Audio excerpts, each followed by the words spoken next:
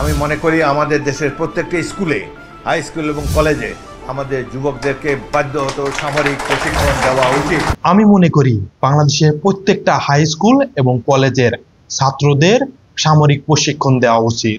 আঠারো বছর হলেই বাংলাদেশের সকলকে সামরিক প্রশিক্ষণ নিতে হবে। এমনটাই দাবি করছে বাংলাদেশের সেনাবাহিনী। ইসরায়েলের মতো দেশটি আঠারো বছর হলেই তাদের দেশের প্রত্যেকটি নাগরিককে সামরিক প্রশিক্ষণ দেওয়া হয়। ভবিষ্যতে যদি বাংলাদেশে বড় কোনো যুদ্ধের সম্মুখীন হয়, তখন জনগণ যেন সেনাবাহিনীর সাথে কাঁধে কাঁধ মিলিয়ে যুদ্ধে অংশগ্রহণ করতে পারে। আর এর জন্যই বাংলাদেশের প্রাপ্তবয়স্ক সকল নাগরিককে সামরিক প্রশিক্ষণ দেওয়া হবে। তবে বাংলাদেশের সেনাবাহিনী এই ক্ষেত্রে আঠারো বছর বয়স হলেই সামরিক প্রশিক্ষণের বাধ্যতামূলক করার পরিকল্পনা করেছে বাংলাদেশ সেনাবাহিনী। মূলত ভারতকে টার্গেট করে এই পরিকল্পনা করছে বাংলাদেশ সেনাবাহিনী। এর আগে দু হাজার বারো সালে বাংলাদেশ সেনাবাহিনীর commander, lieutenant general Chowdhury Hasan Sarwardy Bangladesh প্রত্যেকটি নাগরিকের জন্য সেনা প্রশিক্ষণের বাধ্যতামূলক করার প্রস্তাব করে। তবে ভারতের আপত্তির কারণে তৎকালীন বাংলাদেশের প্রধানমন্ত্রী শেখ হাসিনা সেনাবাহিনীর এই প্রস্তাবকে প্রত্যাখ্যান করে এবং কি? এবং এই প্রস্তাব দেওয়ার কারণেই শেখ হাসিনা। যারা বাংলাদেশ সেনাবাহিনীকে ভালোবাসেন, তারা অবশ্যই চ্যানেলটি সাবস্ক্রাইব করবেন। বাংলাদেশ সেনাবাহিনীর ওই কর্মকর্তাকে চাকরি থেকে বরখাস্ত করেন। বর্তমান বাংলাদেশের সেনাবাহিনীর সংখ্যা গুগলের মধ্যে এক লাখ ষাট হাজার। তবে সেটা ভারতের সাথে যুদ্ধ করার মতো পর্যাপ্ত নয়।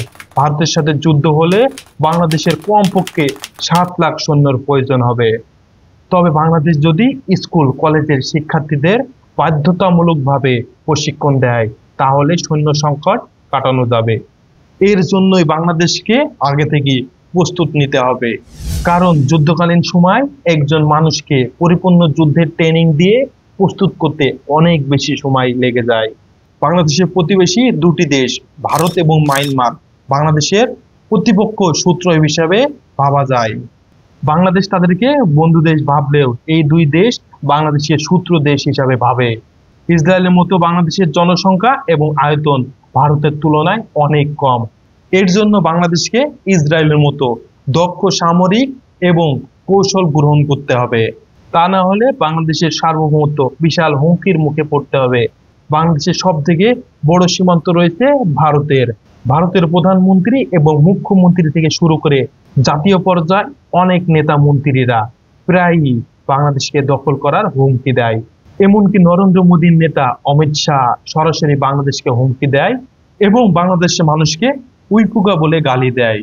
বাংলাদেশিদের উল্টো করে ঝুলিয়ে সোজা করার হুমকি দিলেন ভারতের কেন্দ্রীয় স্বরাষ্ট্রমন্ত্রী অমিত শাহ। ভারতের কেন্দ্রীয় স্বরাষ্ট্রমন্ত্রী অমিত শাহের বক্তব্যের তীব্র প্রতিবাদ জানিয়েছে বাংলাদেশ। বাংলাদেশিদের উল্টা করে ঝুলিয়ে সোজা করার হুমকি দিলেন ভারতীয় কেন্দ্রীয় স্বরাষ্ট্রমন্ত্রী অমিত শাহ। বাংলাদেশের ভূখণ্ডকে রক্ষা করতে হলে লক্ষ লক্ষ সৈনিকের প্রয়োজন হবে। যখনই বাংলাদেশের মানুষ বাধ্যতামূলকভাবে সামরিক প্রশিক্ষণ পাবে, তখনই কোনো দেশই বাংলাদেশের উপর হামলা করার সাহস পাবে না। কারণ পুরা দেশ তখন গেরিলা যুদ্ধ করতে শুরু করে দেবে। যেটি ভারতের পক্ষে সামাল দেওয়া সম্ভব হবে না। আর এই বিষয়টি বিবেচনা করে বাংলাদেশের প্রত্যেকটি নাগরিকের জন্য সামরিক প্রশিক্ষণ বাধ্যতামূলক করতে হবে। দু হাজার বারো সালের দিকে যদি শেখ হাসিনা, যদি বাংলাদেশের সামরিক প্রশিক্ষণ প্রস্তাব গ্রহণ করত, তাহলে বর্তমান বাংলাদেশের প্রায় দেড় কোটি মানুষের সামরিক প্রশিক্ষণের আওতায় চলে আসতো। রিজার্ভ ফোর্স মানে বুঝতে পারেন, পুরা পৃথিবী বাংলাদেশের দিকে তাকিয়ে থাকতো। শেখ হাসিনা রাজি না দেওয়া এবং ভারতের ষড়যন্ত্রের কারণে এই পরিকল্পনা বাস্তবায়ন করা যায়নি। সম্প্রতি ভারত একটা অগ্নিবীর নামে একটি প্রকল্প বাস্তবায়ন করেছে। এবং এই প্রকল্পে এই আইন অনুযায়ী ভারতের যে কোনো নাগরিক চার বছর পর্যন্ত সেনাবাহিনীতে কাজ করার সুযোগ পাবে। ভারত যখন চায়না এবং পাকিস্তানের সাথে যুদ্ধ করবে, তখন তো প্রায় ভারতের তেত্রিশ লক্ষ অ্যাক্টিভ সোলজারের প্রয়োজন হবে। এই সেনাবাহিনী ঘাটতি পূরণ করার জন্য অগ্নিবীর প্রকল্পটি হাতে নিয়েছে ভারত সরকার। বাংলাদেশ এইরকম প্রস্তাব রাখার সঙ্গে সঙ্গে চরম আপত্তি জানিয়েছে ভারত।